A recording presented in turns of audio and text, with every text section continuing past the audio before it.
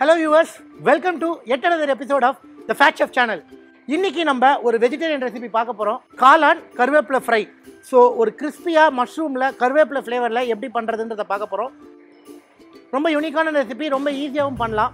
So அதுக்கு தேவையான ingredients என்னென்னு பார்த்தீங்கன்னா பச்சரிசி கார்ன்ஃப்ளவர் கருவேப்பிலை ஜீரகம் இடித்த மிளகு பொடியாக நறுக்கின கொத்தமல்லி கொஞ்சம் பூண்டு சோம்பு இஞ்சி பூண்டு பேஸ்ட்டு அஃப்கோர்ஸ் காளான் நம்ம மட்டும்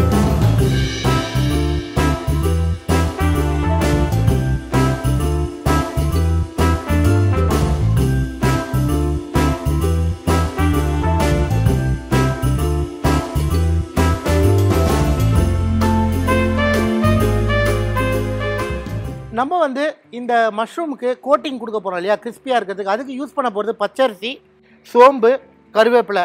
இதுதான் அண்ட் ஜீரகம். இதுதான் இதுக்கு ஃப்ளேவரிங்கு இது எப்படி பண்ணுறதுன்ற பார்த்துருவோம். ஸோ பச்சரிசி ஒரு ஒன்றரை கப்பு கருவேப்பிலை ஆல்மோஸ்ட் ஒரு பெரிய கொத்த அளவுக்கு எடுத்துக்கோங்க. ஏன்னா இதுதான் அதோடய ஃப்ளேவரிங் ஸோ நம்மளோட ஃப்ரையே க்ரீன் கலரில் வரப்போகுது. அதுக்கு தான் இது. இது லைட்டாக வறுக்க தான் போகிறோம் இப்போ நம்ம. சோம்பு ஒரு ஸ்பூன் ஃபுல்லாக ஜீரகம் ஒரு ஸ்பூன் ஃபுல்லாக மிளகு வந்து நான் ஆல்ரெடி பொடி பண்ணி வச்சுருக்கேன். அதை நம்ம வந்து மஷ்ரூமோட போடும்போது மிக்ஸ் பண்ணிக்கலாம். ஸோ இப்போ இதை லைட்டாக வறுத்து எடுத்தோம்னா நம்மளோட க்ரஸ்ட்டுக்கு தேவையானது ரெடி இது இல்லாமல் கார்ன்ஃப்ளவர் கொஞ்சம் யூஸ் பண்ணிக்க போகிறோம் and ginger garlic paste use பண்ண போகிறோம் வியூவர்ஸ் இப்போ நம்ம போட்ட அரிசி கருவேப்பிலை சோம்பு ஜீரகம் எல்லாம் நல்லா வறுத்து வந்திருக்கு. ஸோ பார்த்திங்கன்னா அரிசி கொஞ்சம் லைட்டாக செவக்க ஆரம்பிச்சிருக்கு. இந்த ஸ்டேஜில் நம்ம இதை நிறுத்திக்கிட்டால் போதும். ஸோ நம்மளோட இந்த அரிசி ஜீரகம் சோம்புலாம் பார்த்தீங்கன்னா நல்லா வறுத்து சூப்பராக ரோஸ்ட் ஆகிடுச்சு இப்போ இதை அரைக்க போகிறோம் பொடியாக அரைச்சிட்டோன்னா நம்ம ஃப்ரை பண்ணுறதுக்கு ரெடி ஆகிடும் ஸோ இதை ஒரு பவுலில் நான் மாற்றிக்கிறேன்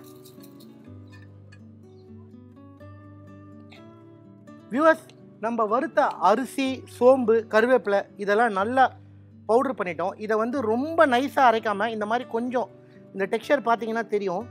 இதில் வந்து கொஞ்சோண்டு அந்த கருகருன்னு அந்த இட்லி பொடி டெக்ஸ்சர் மாதிரி அரைச்சிருக்கேன். இப்போ நம்ம மஷ்ரூமை எப்படி மேரினேட் பண்ணலாம்? நான் ஒரு மஷ்ரூமை இப்படி குவாட்டராக கட் பண்ணியிருக்கேன். அதாவது ஹாஃபாக கட் பண்ணியிருக்கேன். ஸோ ஹாஃபாக கட் பண்ணியிருக்கேன். இப்போ அந்த மஷ்ரூமை போட்டுக்கலாம். இதில் மேரினேஷன் எல்லாத்தையும் நம்ம பண்ணிடலாம் இப்போ. ஜிஞ்சகார்லிக் பேஸ்ட் ஒரு ரெண்டு டேபிள் ஸ்பூன் அளவு போடுறேன். பச்சை மிளகாவை பேஸ்ட் அரைச்சி வச்சுருக்கேன். அது ஒரு ஒரு டேபிள் ஸ்பூன்லேருந்து ரெண்டு டேபிள் ஸ்பூன் போட்டுக்கலாம். காரத்துக்கு தேவையான இந்த மஷ்ரூம்க்கு தேவையான அளவு உப்பு. நான் முதல்லயே சொன்ன மாதிரி மிளகு பொடி. கொஞ்சம் டெக்ஸ்சர் கொடுக்கறதுக்கோசம் கொஞ்சம் சாப்பாக சாப் பண்ணி வச்சுருக்க இஞ்சி பூண்டு சாப் பண்ணி வச்சுருக்க இஞ்சி.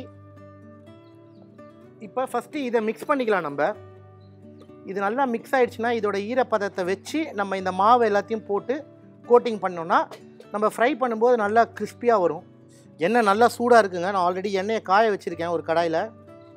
ஸோ இப்போ இது இந்த மிக்சர் நல்லா மிக்ஸ் ஆகிடுச்சு இப்போ அந்த நம்ம போட்ட green chilli paste chop ginger உப்பு பச்சை மிளகா எல்லாம் இதில் மிக்ஸ் ஆகிடுச்சு இப்போ நம்ம இந்த அரிசி மாவோட அரைச்சோம் இல்லையா கருவேப்பிலை பவுடரு அது பைண்டிங்க்கு கார்ன்ஃப்ளவர் கொஞ்சம் போட்டுக்கலாம். நான் அபவுட் ரெண்டு டேபிள் ஸ்பூன் மட்டும் போடுறேன். இப்போ இதை நல்லா மிக்ஸ் பண்ணோன்னா நம்மளோட க்ரஸ்டிங் ரெடி ஆகிடும் ஸோ இப்போ பார்த்தீங்கன்னா நல்லா இந்த க்ரஸ்டிங் பட்டுக்கிட்டு வருது இந்த மஷ்ரூம் மேலே. பட் ஆனால் இன்னும் நல்ல கோட்டிங் வரணும். நான் அதனால் இருக்கிற அரிசி மாவு எல்லாத்தையும் போட்டுடுறேன் கோட்டிங் நல்லா மிக்ஸ் ஆகிறதுக்கோசம் கொஞ்சமாக தண்ணி போட்டுக்கிறேன்.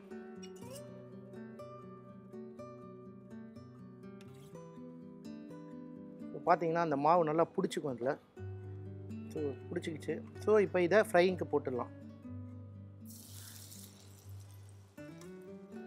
ஸோ நீங்கள் பாருங்கள் நான் வந்து இப்போ இதை அப்படியே போடுறேன் அப்போ தான் அந்த மாவு பிடிக்கும்.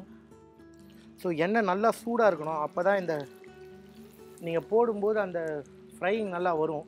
இல்லட்டா அந்த ஃப்ரையிங் வந்து உங்களுக்கு ஒழுங்காக வராது. ஸோ போடும்போது அந்த மாவு அப்படியே போட்டு விட்டிங்கன்னா மேலே அந்த கரெக்ட் அந்த ஃப்ளேவர் கரெக்டாக உட்காரும்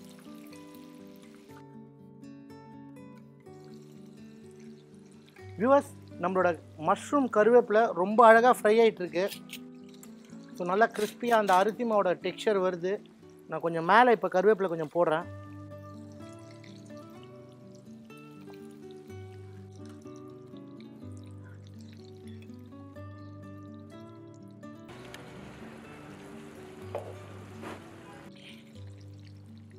நம்மளோட கருவேப்பிலை காளான் ரொம்ப அழகாக கிறிஸ்பியாக ஃப்ரை ஆகி வந்துட்டுருக்கு. ஸோ பாருங்கள் சூப்பர் கிறிஸ்பியாக இருக்குது இந்த அரிசி மாவு கருவேப்பிலை மிளகு ஃப்ளேவரே சூப்பராக இருக்குங்க. ஸோ நம்மளோட மஷ்ரூம் ரெடி காளான் கருவேப்பிலை ரெடி அது கூட நம்ம வந்து என்ன சர்வ் பண்ணலாம் எப்படி சர்வ் பண்ணலான்னு பார்க்குறோம். நான் ஒரு சின்ன கடாய் மாதிரி என்கிட்ட இருக்கிற ஒரு டிஷ் எடுத்திருக்கேன். ஸோ நல்லா கிறிஸ்பியாக ஃப்ரை பண்ண மஷ்ரூம்ஸு கருவேப்பிலை ஃப்ளேவரில் சூப்பராக வந்திருக்குங்க. நீங்கள் இதை வந்து உங்கள் வீட்டில் வரவங்களுக்கு ஒரு ஸ்நாக்காக கொடுக்கலாம். அப்படி இல்லைன்னா எப்பயுமே சும்மா ஒரு பொரியல் மாதிரி வதக்கி கொடுக்கறதுக்கு பதிலாக இந்த மாதிரி கொஞ்சம் கொடுத்தீங்கன்னா டிஃப்ரெண்ட்டாக இருக்கும்.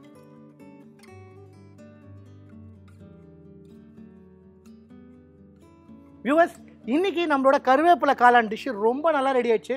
நல்லா கிறிஸ்பியாக அந்த கோட்டிங் வந்திருக்கு கருவேப்பிலை ஃப்ளேவர் இந்த டிஷ்ஷை உங்கள் வீட்டில் ட்ரை பண்ணி பாருங்கள் எப்படி இருந்தது கமெண்ட் செக்ஷனில் சொல்லுங்கள் அடுத்த வாரம் இன்னொரு டிஷ்ஷோட உங்களோட ஃபேட் ஷெஃப் சேனலில் வர வரைக்கும் until then bye from chef Mani